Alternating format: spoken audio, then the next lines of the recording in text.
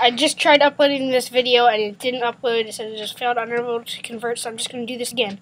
Alright, there's a guy on TechPB, and he had a problem with his ASA on his uh, ion. He said I was leaking through the bleed hole, which, as you can see, is right there. If it's leaking through here, then most likely, likely your pressure is up. It's not a broken O-ring or anything. If it was a broken O-ring, it'd just be leaking out through the ASA.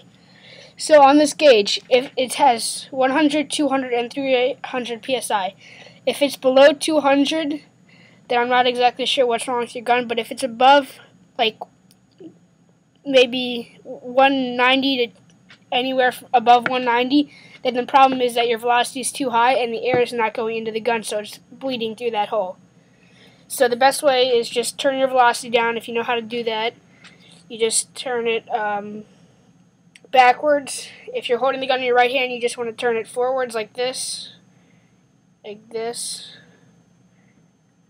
Not like this, that's going to turn it up. And just keep checking your gauge when you're turning it so you look when it's about 150 to 180, that's when it's going to be working good, and then just a couple of test fires and it should work, alright?